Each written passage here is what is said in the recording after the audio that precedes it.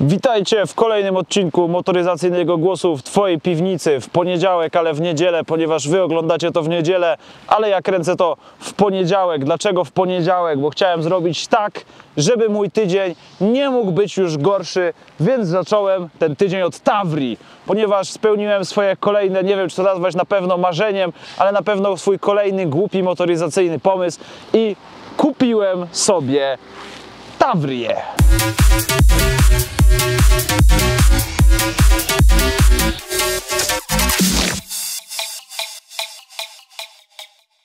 Zapytacie, czemu kupiłem sobie Tawrię, poza tym, że to kolejny mój głupi pomysł i jest to beznadziejny wóz. Otóż, otóż, posłuchajcie, bo to jest bardzo dobra historia.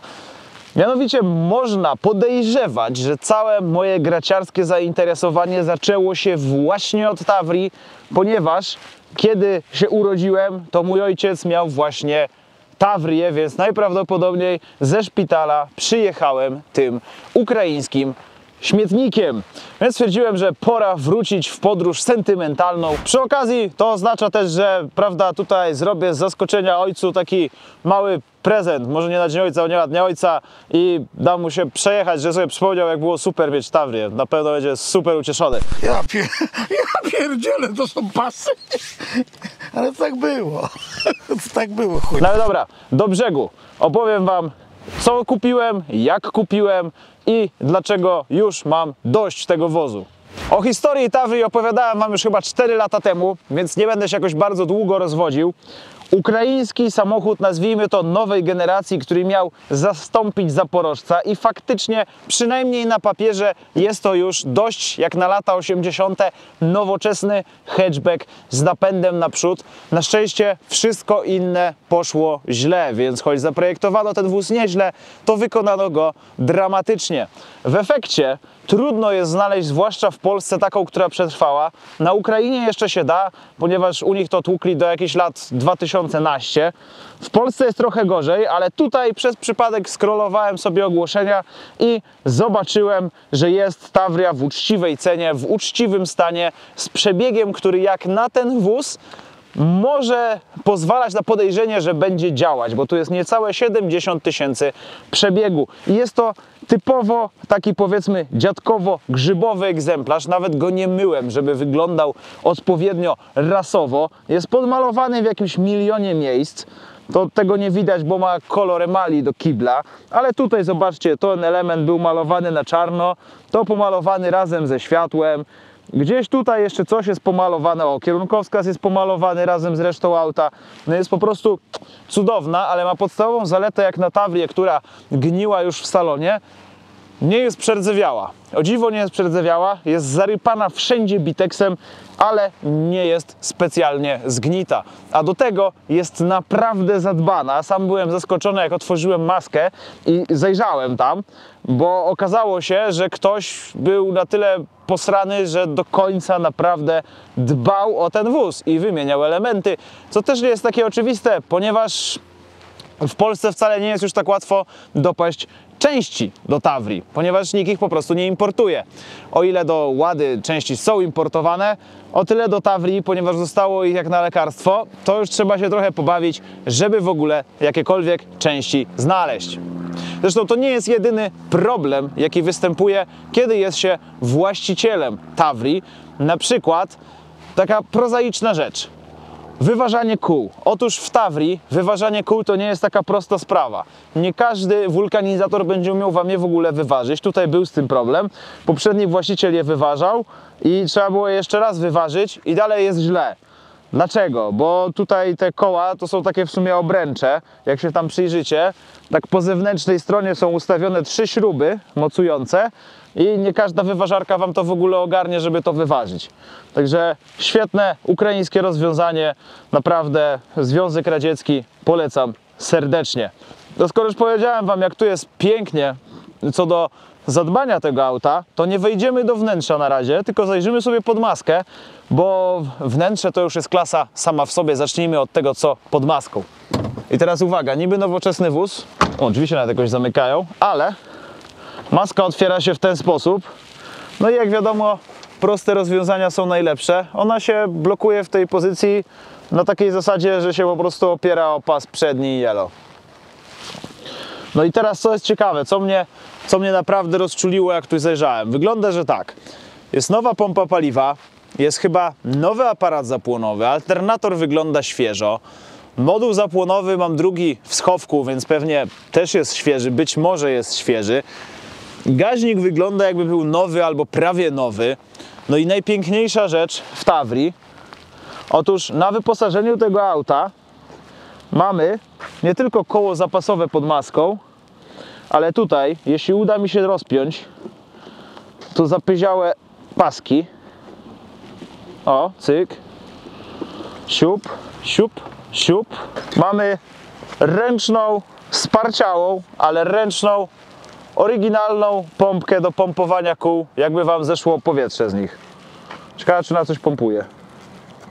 O, chyba nawet coś pompuje. Idealnie. I to nie jest koniec zestawu, bo tu jeszcze coś jest. Tu mamy jeszcze zapasową wycieraczkę. To jest oryginalny podnośnik i klucz do kół. Pod spodem znalazłem trochę korozji, więc lepiej to schowam. Jak ja mam to włożyć z powrotem w ogóle tu? Jezu, już jestem brudny. Tak, tak wyglądają poniedziałki. Ua! No i wyrwałem, kurwa. No nie żartuję, no. Pociągnąłem za ten sparciały, za sparciały pasek. I to tyle, jeśli chodzi o to, że miałem e, mocowanie. Sparciał do reszty. Oczywiście. Jeśli nie masz problemów w życiu i dobrze ci się wiedzie, to kup sobie Tavrię, to będziesz miał problemy. I oczywiście nie wystarczyło posiadanie tarpana. Jakby nigdy się małpy nie nauczą. Przynajmniej o, cyk. Dostałem też w pakiecie jakiegoś tutaj Edmunda Bojanowskiego, ale właśnie, skoro mówimy o Edmundzie Bojanowskim i tym, co we wnętrzu, chodźmy do wnętrza zobaczyć, jak to tam wygląda, bo jest naprawdę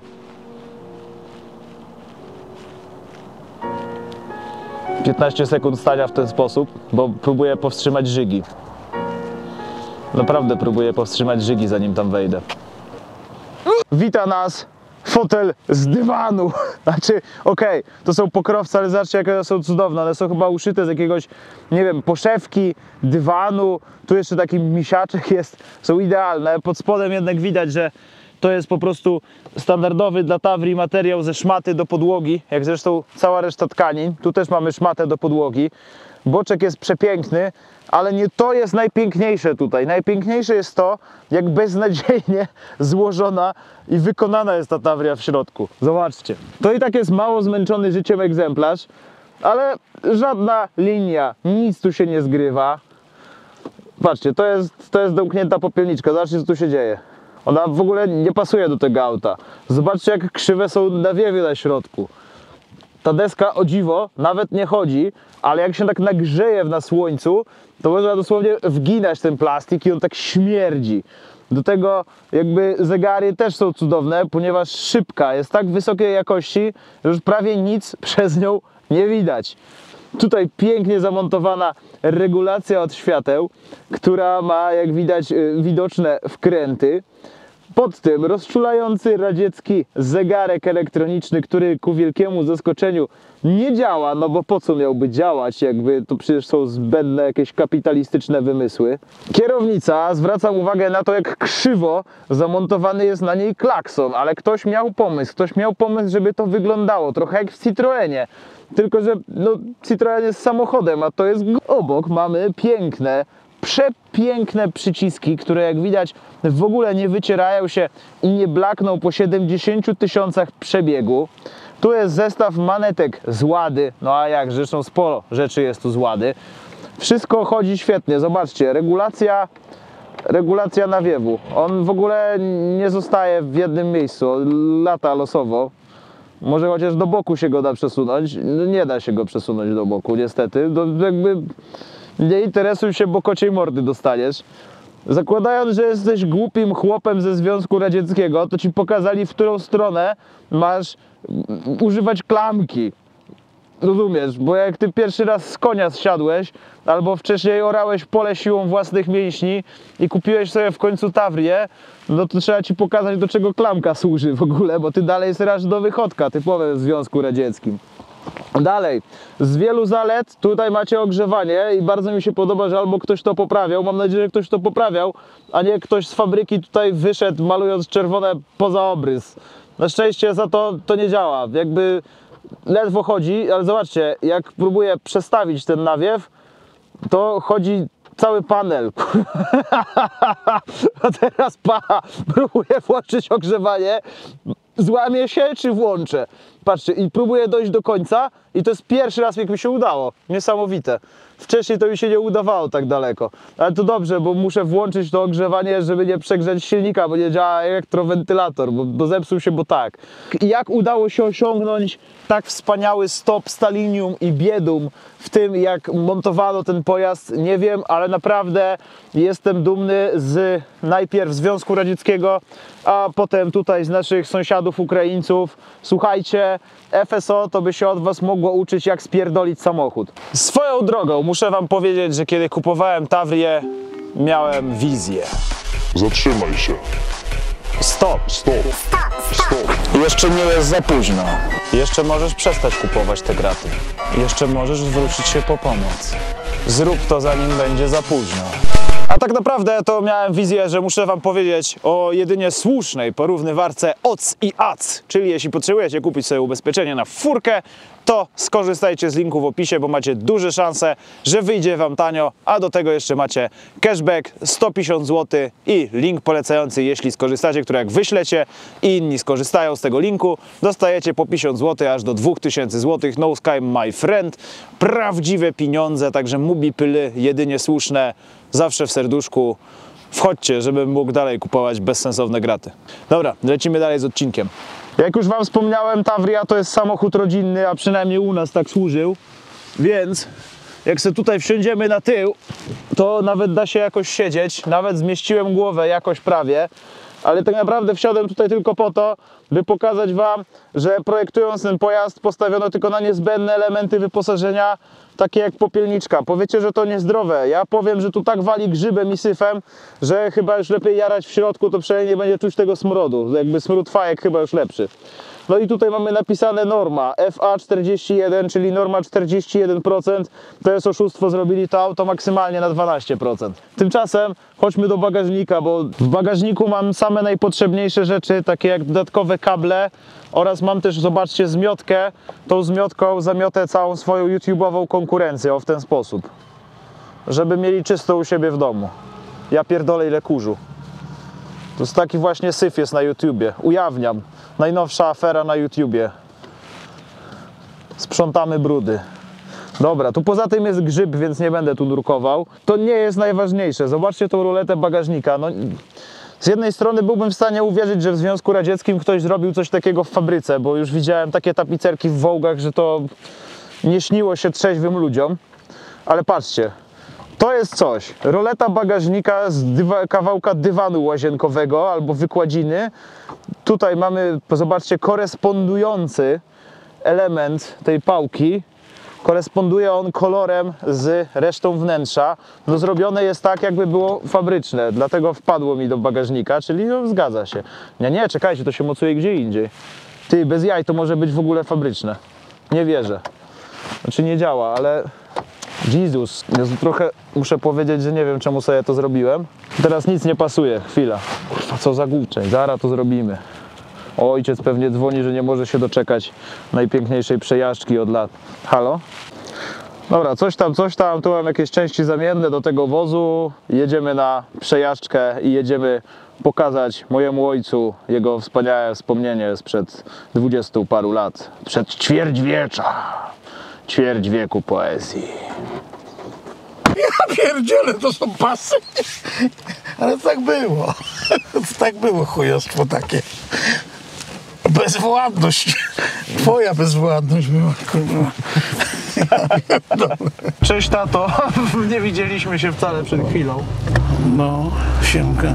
Czekaj, bo szukam strasznego, on jest wciskany?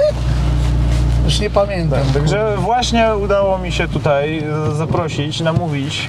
Tak, wciskasz w dół i jak piątkę. Zaprosić tatę, żeby przejechał się Tawrią po ćwierć wieku. Jak widać bawi się świetnie. Tak, bardzo. Szukam wstecznego Tak biegu. bardzo, że nie mam czasu się przywitać. Witam serdecznie, ale Dam ci sekundę jeszcze, żebyś się tutaj wy- wymanewrował tą Tawrią i zaraz cię zapytam jak tam wrażenia. no, wrażenia to są, powiem Ci szczerze, że po tylu latach kiedyś mi się ten samochód bardzo podobał. W sensie takim w ogóle jak z Tavrią było. To trzeba odnieść się do czasów, kiedy podstawowym samochodem dla Polaków był mały Fiat. Kurna, ale ona idzie jak...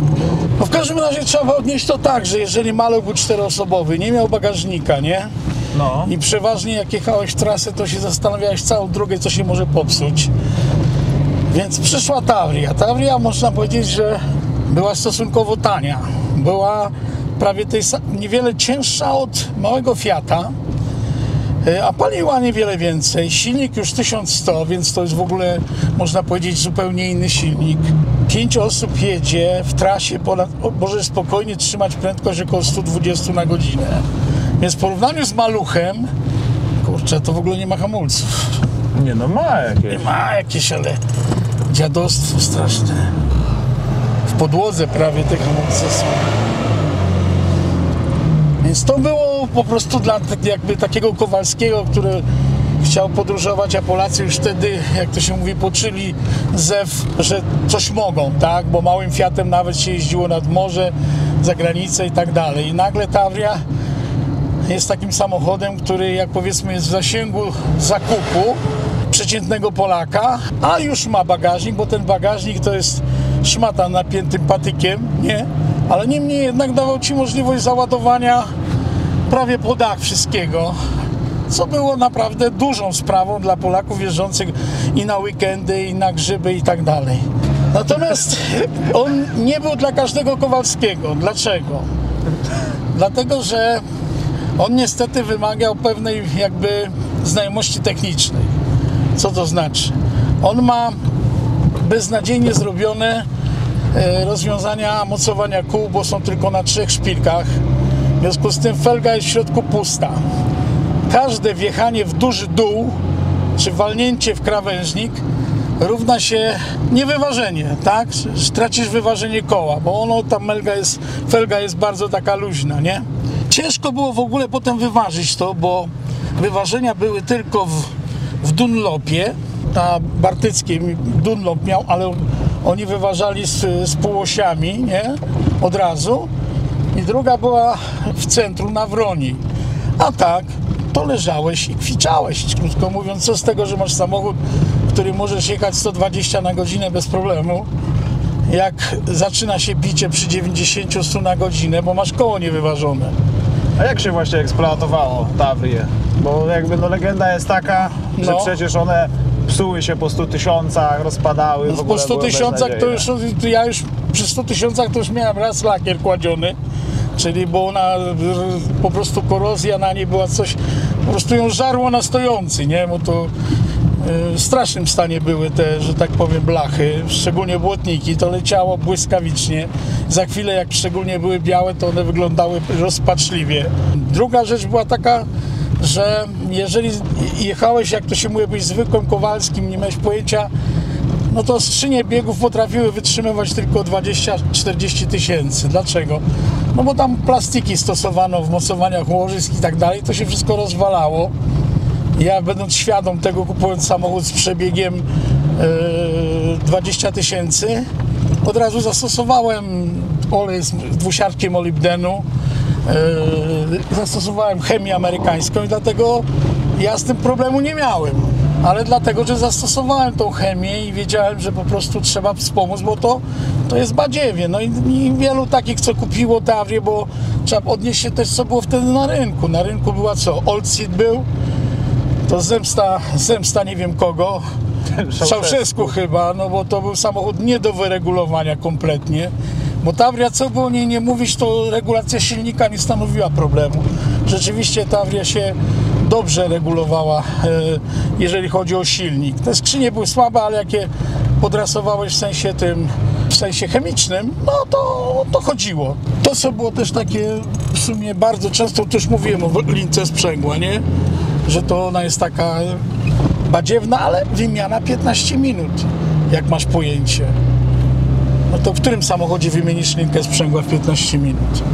A jak często miałeś awarię właśnie, jak mowa o wymianie 15-minutowej? Jak często miałem awarię? No. Linki sprzęgła tak lata, mniej więcej 10 tysięcy kilometrów to prawie regularne. One były źle zakuwane. A coś jeszcze się psuło? Raz moduł mi poleciał, ale moduł był dwa razy tańszy od, yy, od polonezowskiego, bo kosztował chyba stówkę, jeśli dobrze pamiętam w tym czasie. I raz mi poleciał i to mówiąc szczerze, na tyle był bardzo łatwy do diagnozy, że nawet nie musiałem nic robić, tylko otworzyłem maskę, spojrzałem co się dzieje i, i momentalnie wymieniłem moduł i, sam, i pojechaliśmy dalej. Tak naprawdę opracowanie tego samochodu było bardzo dobre, tylko wykonawstwo było socjalistyczne. Z gówna bata nie ukręcisz, także no taka droga to tragedia dla tabli. Jeżeli ktoś jeździ nieumiejętnie, to starczy, że w taki dół dobrze gruchnie i koło do, do wyważenia. A jak do wyważenia, to już, to już nie ma przyjemności jazdy. Ale Czyli ta, miałeś przyjemność z jazdy Tavrią? tak, tak, nie, naprawdę mi się bardzo fajnie jeździło. Ja no wiecie, zrobiłem od nią 80 tysięcy kilometrów. Czyli wbrew... Po maluchu, to którym się ciągle trząsłem, co się popsuje, nie? No to, to, to był naprawdę wtedy, na tamte czasy, rewelacyjny samochód. Jeżeli ja miałem linkę sprzęgła, którą mogłem w 15 minut wymienić, tak? To znaczy, Yy. nie wiem, czy to jest największa zaleta samochodu, wymiana linki sprzęgła w 15 minut, no bo może lepiej jakby się nie psuła na przykład. No, to, no oczywiście, tylko lepiej by było kupić samochód wtedy za powiedzmy 50 tysięcy jakbyś miał, a nie za 20 tysięcy, no bo taka jest alternatywa, że mogłeś sobie próbować samochody z demoludów też kupić jakieś Łady, jakieś powiedzmy te e, samochody Skody Favorit czy coś w tym stylu, tak? Mógłbyś kupić, tu stajemy? No i co? I na tamte czasy to naprawdę był samochód dla Kowalskiego takim, którym mógł jeździć, ale tak jak powiedziałem, warunek, że musiał mieć cokolwiek znajomości techniki. Druga rzecz, że ten samochód wydawał różne takie dziwne odgłosy, nie tak jak żeśmy słyszeli na początku, jakieś skrzypnięcia, jakieś tam blachy czy czegokolwiek. Jak ktoś na tym jeździł, to wiedział, że to jest normalne w tym samochodzie, że te całe karoseria tak pracuje, dlatego że co, te mocowania, te wszystkie, te, te, te, ta korozja, która w nim jest, no to wszystko powodowało, że on wydawał różne odgłosy, nie? Jedyna kulturalny, znaczy nie jedyna, ale kulturalna rzecz, która była w sensie tym takim drogowym, to miałeś te piąty bieg, trasa, ale mówię, no w tej chwili jak się No ze mnie... właśnie, właśnie, jak wrażenie, jak sobie powróciłeś po, po ćwierć wieku jeżdżenia normalnymi autami? Tragedia, powiem tak, tragedia, no. Sprzęgło tragedia, hamulce tragedia, gazu to nawet nie mówię, bo to jest, no trudno nawet było ten gaz naciskać, bo jak te kurna biegi chodzą jak, jak, jak, jak no nie wiem, ten... Nie wiem, jak ja tym jeździłem. Ja byłem zadowolony bardzo, ale teraz jak patrzę na to, nie wiem, no, No dobra, no, dziękuję Ci bardzo za tę przejażdżkę. Zostałem tutaj zaorany, że to był dobry samochód jak na tamte czasy, więc teraz już moja przejażdżka będzie się nie liczyć. No ale dobrze, dobrze. Mam coś wyłączyć? Inne spojrzenie. Nie, ja Ci wszystko wyłączę. Jeszcze raz Słuchaj, dzięki bardzo. no wiesz, zaorany, no powiem w ten sposób. Wiesz, to są moje wspomnienia. Może po maluchu ten samochód to był odpoczynek. No dobra. I, No. Bo to już będzie faktycznie ostatecznie zakończeniowa scena, żebyś się nie rozgadał dalej, bo już mamy trochę kilka razy ten sam temat. E, dobra, to dzięki, że poopowiadałeś. W sumie ja to dowiedziałem się więcej teraz o tej Tawrii niż wiedziałem. Miło mi było, że znowu zobaczyłem Tawryśkę, bo ją, ta, ją zawsze nazywałem Tawryśką. A teraz przejdziemy do mojego narzekania na to auto, jak ty już powiedziałeś, że ono jest takie super.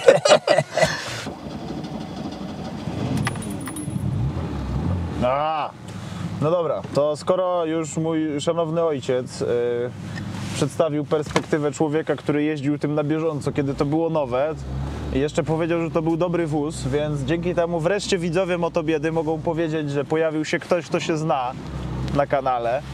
a nie tylko cały czas gada jakiś gówniarz, jakieś pierdoły i obraża dobre samochody, to teraz ja poobrażam trochę tą Tavrię.